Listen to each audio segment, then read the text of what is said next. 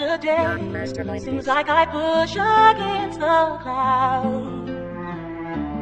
They just keep knocking out the sun. It seems since I was born.